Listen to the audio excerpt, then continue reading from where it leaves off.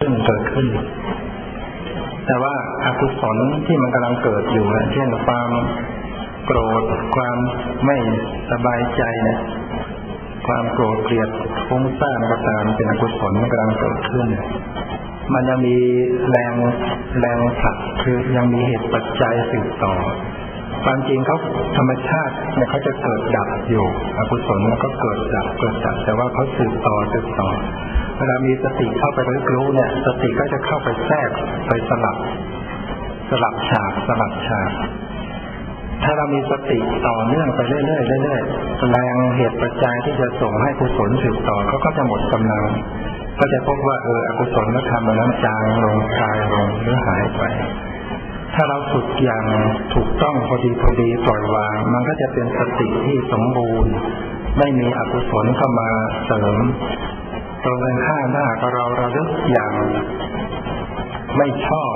ความโกรธไม่ชอบความฟุ้งอยากจะสงบอยากจะหายเท่ากับเรามีกิเลสเข้าไปเสริมนี่ยอุปมาเหมือนกับกิเลสอกุศลเหมือนกับไฟที่กำลังลุกไหม้สติสัมปชัญญะเหมือนกับน้ำที่เข้าไปดับ ถ้าเราเอาน้ำไปดับไฟแล้วเราไม่ใช้น้ำอย่างเดียวเราเติมน้ำมันไปด้วย ดับได้ง่ายนะดับได้ไหมฉีดน้ำบ้างฉีดน้ำมันบ้าง การที่เรามีสติเหมือนน้ำถ้าเรามีอภิชาโทมนัสพอใจไม่พอใจเข้าไปแทรกเลยเท่ากับเรามีเชื้อเพลิงใส่เข้าไปด้วยดังนั้นให้ระลึกอย่างไม่มีปัญหาอภิชาเข้าไประลึกไม่ว่าอะไรนั่นแหละเราจะพบได้ว่า กิเลสนั้นเขาก็ดับเขาคลี่คลายเขาไปเองยิ่งเราฝึกดีๆต่อไป พอเราเลิกปุ๊บมันจะมันจะดับให้เห็น แม้ความโกรธเนี่ยพอเราเลึกมันดับไปทันทีก็ได้ ถ้าสตินั้นมีมีความกำลังมีสติมีความคมที่ฝึกมามากๆขึ้นเนี่ยใหม่ๆแล้วก็ดูไปก่อนเรื่อยๆอย่างวางเฉย มันจะเห็นความจางคลายคลี่คลายเห็นสภาพของ ใจที่โปร่งเบาแทรกสลับกำลังถ้าสังเกตให้ดีเรียกว่าพิจารณาให้ยับคายอ่าต่อไปการราชการจะทำราชการกับอะไรอะไรจะมีเวลาดูแลรักษาแต่ละคนมีทุกคนเลยนะคะวันนี้ไม่ได้มาแสดงเรื่องนี้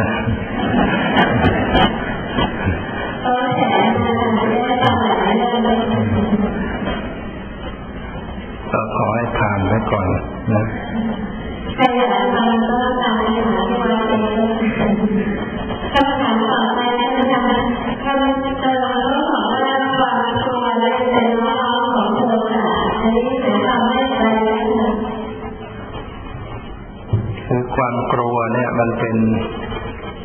เอ่อเป็นอกุศล เวลามันเกิดขึ้นเนี่ย มันจะเกิดพร้อมกับโทสะโมรจิตนะเพราะฉะนั้นมันก็ถือว่าเป็นอยู่ในกลุ่มของโทสะเรียกว่าเป็นลูกน้องโทสะก็แล้วแต่เวลาที่มีความกลัวสภาพจิตขนาดนั้นจะเป็นโทสะอยู่ โทสะมันไม่ได้หมายถึงว่าต้องโมโหโทโสอาฆาตพยาบาทมากแม้คุณคุณในใจใจที่ไม่แช่มชื่นไม่ปกติก็มีแล้วโทสะขึ้นมาคือตอนที่ตามเราอยู่รู้สึกว่าจิตคุณมัวนะคะ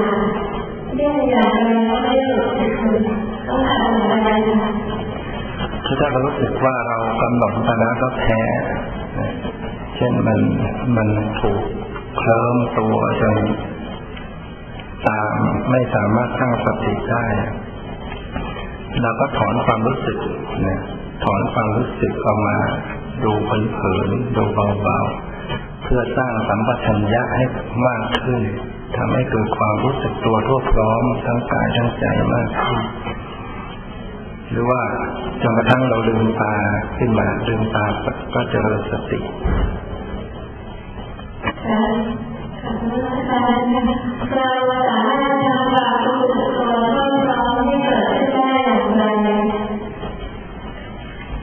ก็คือต้องให้รู้ทั้งกายทั้งใจ รู้กายนี่ก็รู้ไปทั่วถึงกายทั้งหมด รู้กายทั้งหมด ในความรู้สึกกายทั้งตัวเนี่ยจะมีความรู้สึกอยู่ ความเย็นร้อนตึงหย่อนไหวเนี่ย พัฒนาสติให้เกิดความรู้สึกตัวทั่วถึงกายทุกทุกสัดส่วนตลอดทั้งรู้ใจด้วยเนี่ยขณะที่กายที่เคลื่อนไหวอยู่เนี่ย ก็มีใจที่รับรู้ สติก็รู้ทั้งกายที่เคลื่อนไหว รู้ทั้งใจที่รับรู้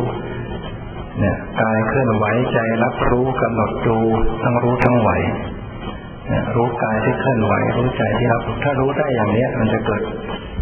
ความเรียกว่า ความรู้สึกตัวทอดพร้อมขึ้น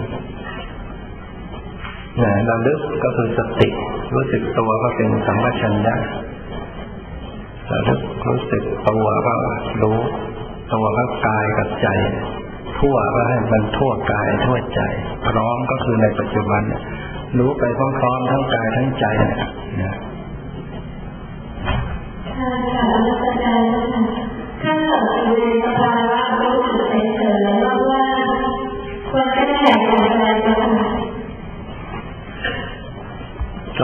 ที่ตอบไปแล้วนะคือให้ให้หัดรู้มาที่ใจผู้รู้ที่รู้สึกนะสังเกตนะสังเกตใจ ใจที่รู้อุปมาเหมือนกับ เรามองแต่ว่าเรามองท้องฟ้าไปกว้างๆเนี้ยเราก็ว่ามันว่างว่างมันว่างไปหมดไม่มีอะไร แต่ที่จริงมีการมองอยู่ใช่ไหมมีการมองอยู่เวลาเราปฏิบัติเหมือนกันที่ใจเราสึกมันว่างๆเรานั่นแหละมันก็มีผู้ดูความว่างอยู่ สภาพที่ดูความว่างเนี่ยก็เป็นเป็นจิต เป็นนามธรรม เป็นจิตเป็นเจตสิกที่มีสติสมัชัญญะเป็นสภาวะที่เปลี่ยนแปลงเกิดดับอยู่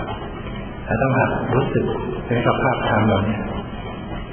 คือแทนที่จะเอาจิตส่งออกไปที่ความว่างขยายออกไปอย่างนั้นก็พยายามให้มันรู้สึกกลับคืน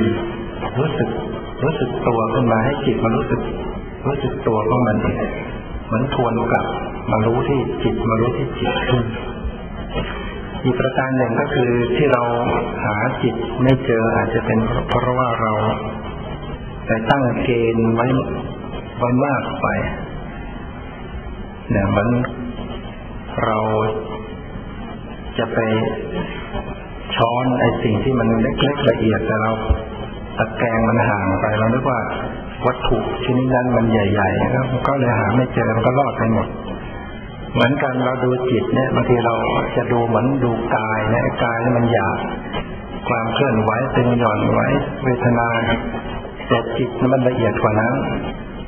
ถ้าเราไปตั้งเกณฑ์ว่าเราจะต้องไม่เห็นชัดอย่างนั้น มันก็รอดไปหมด เราต้องตั้งเกณฑ์ใหม่ว่าจิตนั้นเป็นเพียงสภาพรู้ ความรู้เนี่ยมันละเอียดสภาพรู้เนี่ย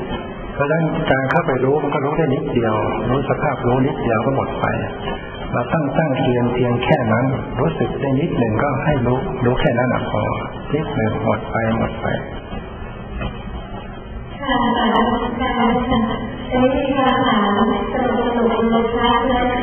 เป็นค่าเกียรติปัญญาถามว่าพระสุวรรณใหม่เพื่อมีบทในที่สิบพรรษาที่สุมีเจริญญาณสมาบัติได้ท่าเสริมแล้วทำไมก็รู้แบบเหมือนสอนให้เรา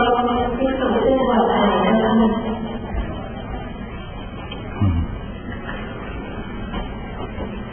ก็เป็นพุทธบัญญัติที่พระพุทธเจ้าก็หวัง สงบเรียบร้อยในสังคมของหมู่คณะของผู้ประพฤติธรรมจรรย์นี่ยเพราะพระองค์มีญาณอย่างรู้เหตุการณ์ความวุ่นวายต้องเกิดขึ้นคนเรามันไม่ใช่มีแต่ระดับผู้ มีคุณธรรมมีมีญาณมีปัญญาเท่านั้นในยุคต่อต่อมาก็จะมีนักบวชที่เข้ามาเป็นปุถุชนมีผู้ ไม่ประพฤติดีปฏิบัติชอบเนี่ยนะดังนั้นก็จะเกิดความวุ่นวายก็จะต้องมีระเบียบนั้นก็จึงเป็นพุทธาพุทธบัญญัติขึ้น ในกรณีของผู้หญิงเนี่ย โดยปกติแล้วพื้นฐานความอ่อนแอมีมากกว่าผู้ชายนะ